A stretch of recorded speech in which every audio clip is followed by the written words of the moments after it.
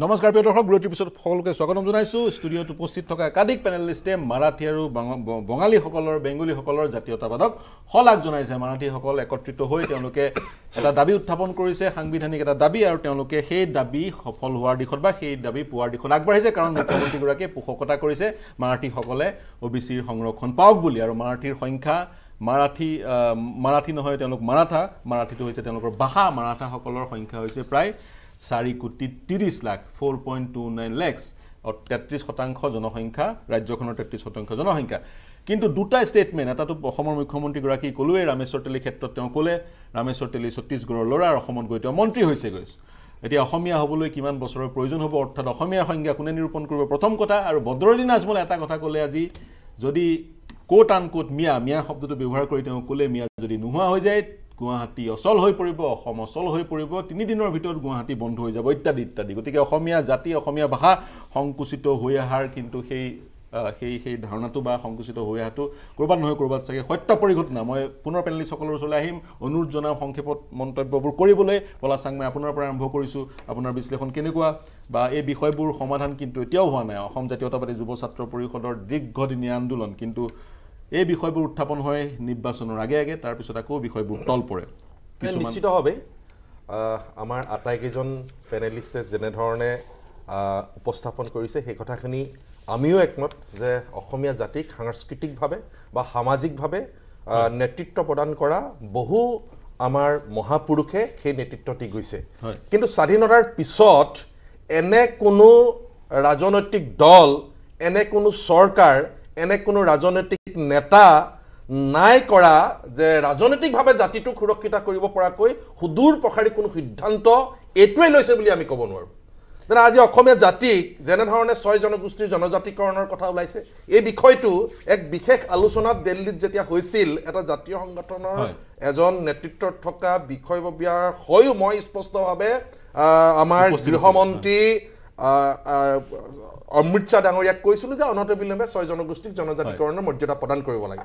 কিন্তু যেতিয়াই নিৰ্বাচন আহে তেতিয়াই মাত্ৰ এটা ষ্টেপ বাকী আছে বুলি কয় যেনেধৰণে ৰঞ্জিত দাই কথাটো আজি ক'লে এই কথাটো প্ৰত্যেকবাৰ নিৰ্বাচনৰ সময়তকৈ আৰু এটা ষ্টেপ। নিৰ্বাচনৰ। তিনি মাহৰ পিছত এশ। দিনৰ ভিতৰত ছয় জনগোষ্ঠীৰ নাই। মই ভাবো অনতিবিলম্বে এই ছয় জনগোষ্ঠীৰ জনজাতিকৰণ কৰিব লাগে। এতিয়া আন দুটা কথা। যদি মোক ক'বলৈ সুবিধা দিয়ে। যে মই আগতেও কৈছিলো যে অসম বিধানসভাতে জাতিটোক সুৰক্ষিত কৰিব পৰা বহু সুদূৰ প্ৰসাৰী আইন প্ৰণয়ন কৰিব পাৰে যেনে যেনে উদাহৰণস্বৰূপে আমাৰ ভূমিৰ অধিকাৰ। আমাৰ সম্পূৰ্ণ ৰাজ্য চৰকাৰৰ হাততে আছে।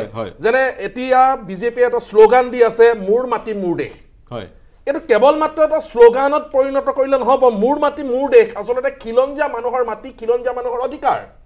এই যিটো বিষয় যে কেৱল মাত্ৰ খিলঞ্জীয়া মানুহেহে। মাটিৰ অধিকাৰ পাব কিনা বেচাৰ অধিকাৰ পাব এনেধৰণৰ যিবিলাক বিষয় এই বিধানসভা। যেতিয়া আমাৰ কা আন্দোলন হৈ আছিল তেতিয়া অসম কেবিনেটত কিন্তু এনেকুৱা এটা সিদ্ধান্ত। ল'ব বিচৰা হৈছিল। যে অসমীয়া খিলঞ্জীয়া মানুহে ইয়াতে মাটি কিনা বেচাৰ দায়িত্ব ল'ব পাৰিব অৰ্থাৎ বিষয় কা। আন্দোলন হৈ আছিল। সেই সময়তে ছয় জনগোষ্ঠীৰ জনজাতিকৰণৰ যিখন বিল সেই। বিলখন ৰাজ্যসভাত উত্থাপন কৰা হৈছিল। কা আন্দোলনো প্ৰশমিত হ'ল ছয় জনগোষ্ঠীৰ জনজাতিকৰণৰ কথাটো নাইকিয়া হ'ল এনেধৰণে। আচলতে হ'ব নালাগে আন এটা বিষয় এই যে যিটো আমি কওঁ অসম। চুক্তিৰ ছয় নম্বৰ দফা কাৰ্যকৰী কৰিবৰ কাৰণে যিটো এশৰে এশৰে পালন কৰা হ'ব বুলি কৈছিল নিৰ্বাচনৰ। পিছত এই যিখন এক্সপাৰ্ট কমিটিয়ে যি প্ৰতিবেদন দিব সেই প্ৰতিবেদন দাড়ি কমা সলনি নকৰাকৈ কেন্দ্ৰীয়। চৰকাৰে সেই প্ৰতিবেদন পালন কৰিব বুলি কৈছিল কিন্তু আজি। পৰ্যন্ত এই ছয়। জনজাতিকৰণৰ লগে লগে আমাৰ অসম চুক্তিৰ ছয় নম্বৰ দফাৰ যি প্ৰতিবেদন কাৰ্যকৰী। কৰা নহ'ল। আছে। নিশ্চিতভাৱে জাতিটোক সুৰক্ষিত কৰিব পৰা চৰকাৰখনে কৰা নাই মই।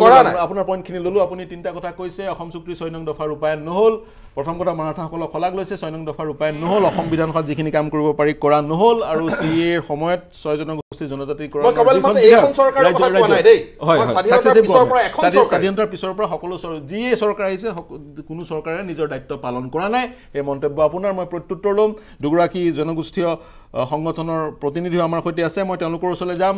প্ৰথমতে মই দিগন্ত তামুলী আপোনাৰ ওচৰলৈ যাওঁ। সংক্ষেপত আপোনাৰ পৰা মতামত ল'ম। কামবোৰ হৈ উঠা নাই বিশেষকৈ ছয় ছয় জনগোষ্ঠীৰ জনজাতিকৰণৰ প্ৰক্ৰিয়াটো। এইবাৰো নিৰ্বাচন আহি আছে। নিৰ্বাচনৰ আগতে চাগৈ ৰাজনৈতিক নেতাসকলে আপোনালোকক প্ৰতিশ্ৰুতি দিব। এইবাৰৰ প্ৰতিশ্ৰুতি কেনেকৈ গ্ৰহণ কৰিব আপোনালোকে? দিগন্ত তামুলী। নাই আমি প্ৰতিশ্ৰুতি বহুত হ'ল প্ৰতাৰণা বহুত হ'ল। নিৰ্বাচনৰ আগতে তেখেতসকলে কয় যে নিৰ্বাচন হৈ যাওক নিৰ্বাচনত আমি জয়ী হোৱাৰ পাছতে আপোনালোকৰ জনজাতিকৰণটো আমি কৰি দিম। কিন্তু এনেধৰণে বাৰম্বাৰ প্ৰতাৰণা হোৱাৰ পাছত আমাৰ ৰাইজৰ মাজত এটা আলোচনা চলিছে যে আমি নিৰ্বাচনৰ পাছলৈ কোনো পধ্যে আমি ৰখি নাথাকিম। আমি দুহেজাৰ চৌবিছ চনৰ লোকসভা নিৰ্বাচনৰ পূৰ্বেই এইটো হোৱাটো আমি বিচাৰিছো আৰু চৰকাৰে আমি কেন্দ্ৰীয় চৰকাৰে কেতিয়াবা ৰাজ্য চৰকাৰলৈ কেতিয়াবা ৰাজ্য চৰকাৰে কেন্দ্ৰীয় চৰকাৰলৈ বলটো ঠেলি থাকে। গতিকে আমি কেন্দ্ৰীয় চৰকাৰ আৰু ৰাজ্য চৰকাৰ আৰু আমাৰ জনগোষ্ঠীকেইটাৰ যিসকল যিবিলাক সংগঠনে আমি জনজাতিকৰণ আন্দোলন কৰি আছো সকলোৱে একেলগে বহি এটা ডিচিশ্যন ল'বৰ কাৰণে আমি বাৰম্বাৰ কৈছো যে আমাক এটা টাইম বাউণ্ড এটা সময়সীমা আমাক লাগিব যে অমুক সময়সীমাৰ তাৰিখৰ ভিতৰতে। জনজাতিকৰণ হ'ব এনেধৰণৰ কথা হ'ব, আৰু। সেইটো কোনো কাৰণতে সেইটো কোনো কাৰণতে দুহেজাৰ চৌবিছ চনৰ নিৰ্বাচনৰ পাছলৈ যাব নোৱাৰিব দুহেজাৰ চৌবিছ চনৰ নিৰ্বাচনৰ। পাছলৈ যাব নোৱাৰিব আৰু সেই তাৰিখটো হয় হয় দিগন্ত তামুলী ডাঙৰীয়া মই পুনৰ আপোনাৰ ওচৰলৈ আহিম সেই তাৰিখটো হ'ব লাগিব নিৰ্বাচন ঘোষণা কৰাৰ আগদিনাৰ ভিতৰত বা অন্তিমটো তাৰিখ নিৰ্বাচন ঘোষণা কৰাৰ আগৰ দিনটো হ'ব লাগিব। নিৰ্বাচন ঘোষণা কৰাৰ পিছত ছয় জনগোষ্ঠীৰ জনজাতিকৰণ সম্ভৱ নহয় কিন্তু সময় আপোনালোকৰ হাতত কম আছে। মই মিণ্টু বৰপাত্ৰ গোহাঁই আপোনাৰ ওচৰলৈ যাম। আপোনালোকৰ যিসমূহ জনগোষ্ঠীয় সংগঠন আছে সেই সংগঠনবোৰৰ মাজত একতা বা একেলগে মিলি এটা উমৈহতীয়া সিদ্ধান্ত লোৱাৰ পৰিৱেশ নাই বুলি বিভিন্ন সময়ত বিভিন্নজনে মত পোষণ কৰে। আক্ৰাচুৰে যদি কথা কওঁ আক্ৰাচুৰেও ছয় জনগোষ্ঠীৰ জনজাতিকৰণ বিচাৰি আছে। আজিৰ তাৰিখত আক্ৰাচুৰ কেইটা সংগঠন আছে? সেই এই মুহূৰ্তত যদি কোনোবাই মোক সোধে ময়ো সাউতকৈ সেই প্ৰশ্নৰ উত্তৰ দিব নোৱাৰিম। গতিকে একতাৰ অভাৱ ঘটিছে নেকি আপোনালোকৰ ছয় ছয় জনগোষ্ঠীৰ জনগোষ্ঠীয় সংগঠনসমূহৰ মাজত বা ক'ৰবাত নহয় ক'ৰবাত নেতৃত্বই আপোচ কৰিছে নেকি? হয় পাৰ্থদা ইয়াত এটা কথা ক'ব লাগিব আপুনি যেতিয়া মাৰাঠাৰ কথা ক'লে আৰু যিটো বেংগলৰ কথা ক'লে গোটেই কথাখিনিত কিন্তু ইয়াত এটা কথা আছে। আপুনি চাব নৰ্থ ইষ্টাৰ্ণ ৰিজনক বাদ দি বেলেগ ষ্টেট বিলাকত যেতিয়া আন্দোলন মুখৰ হয় বা কিবা এটা ইছ্যু যেতিয়ালৈ চৰকাৰৰ বিৰুদ্ধে আলোচনা আন্দোলন কৰে কিন্তু তাৰ ৰাজনৈতিক নেতাসকলে ষ্টাৰ স্তৰৰ হওক বা দিল্লীৰ ৰাজনৈতিক নেতাসকলে কিন্তু সমাধানৰ বাবে এটা ইমিডিয়েট পদক্ষেপ গ্ৰহণ কৰে। কিন্তু আমি দেখা পাওঁ যে নৰ্থ ইষ্টাৰ্ণ ষ্টেট বা এতিয়া মণিপুৰতো আমি দেখা পালো অসমতো দেখা পাইছো যে অসমৰ বা অসমৰ বিভিন্ন সমস্যা হ'ল। কা আন্দোলন হ'ল হয়, হয়। মানে আলফা সংগ্ৰাম চলি আছিলে জনজাতিকৰণ সংগ্ৰাম চলি আছে। ইয়াত কিন্তু আমাৰ ৰাজনৈতিক নেতাসকলৰ যিটো দায়বদ্ধতা তাৰমানে জাতীয় দায়বদ্ধতা। আজি বিধানসভাত কোনোবাই মানে জাতীয় দায়বদ্ধতা নাই এই কথা ইয়াতো বহুকেইজনে কৈছে। আপোনালোকৰ পদক্ষেপ কি হ'ব? আপোনালোকৰ দল সংগঠন জনগোষ্ঠীয় সংগঠন কেইটাৰ মাজত একতা নাই বুলি অভিযোগ উত্থাপন হয় বিভিন্ন সময়ত। এই সন্দৰ্ভত আপোনালোক কেনেদৰে আগবাঢ়িব? এইটোহে মোৰ প্ৰশ্ন। আমাৰ মাজত নহয় নহয়, আমাৰ মাজত যিটো একতা থকাৰ বাবেই আজিৰ তাৰিখত আমি ভাগ ভাগ হৈ যোৱা নাই। ছয় জনগোষ্ঠীয় যিটো ঐক্য মঞ্চ ছয় জনগোষ্ঠীয় ঐক্য মঞ্চ উমৈহতীয়াভাৱে আন্দোলনৰ কাৰ্যসূচী আমি গ্ৰহণ কৰি আছো ভৱিষ্যতে কৰি থাকিম। আমাৰ মাজত একতা আছে। একতা গোটটো আমাৰ মাজত আছে আৰু সেইটো বৰ্তি থাকিব। আমি কৈছো যে অসমৰ ছটা জনগোষ্ঠীক যদি জনজাতিকৰণ তালিকাত অন্তৰ্ভুক্ত কৰে তেতিয়া অসমখন এখন ট্ৰাইবেল ষ্টেট হিচাপে ঘোষণা কৰাত থল থাকিব। আৰু থল থকাৰ লগে লগে অসমৰ বিধানসভাৰ ছিয়াশীৰ পৰা নব্বৈটা সমষ্টি এটা খিলঞ্জীয়াভাৱে সংৰক্ষণ কৰিব পাৰে। তেতিয়া অট'মেটিকেলি যিটো খিলঞ্জীয়া সুৰক্ষিত প্ৰশ্ন সেইটো তেতিয়া আমাৰ বহুত সহজ হয়। কিন্তু আমি দেখা পাওঁ যে জনজাতিকৰণৰ ইছ্যুটো হয়। কিন্তু চৰকাৰসমূহে বা যি দলেই নহওক Congress BJP A G P যিয়ে ৰাজনৈতিক দল নহওক। মই কাৰো ব্যক্তি বিশেষ ক'ব খোজা নাই।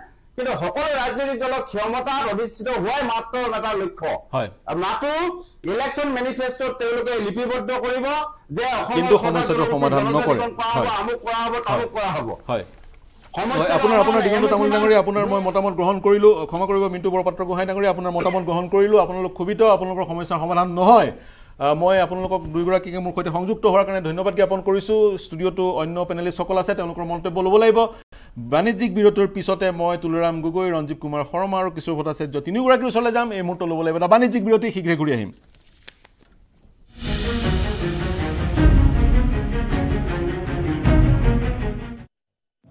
সাধারণ স্টিল এনে কই পরে? মাইথন স্টিল এনে কই পরে? ধম কই?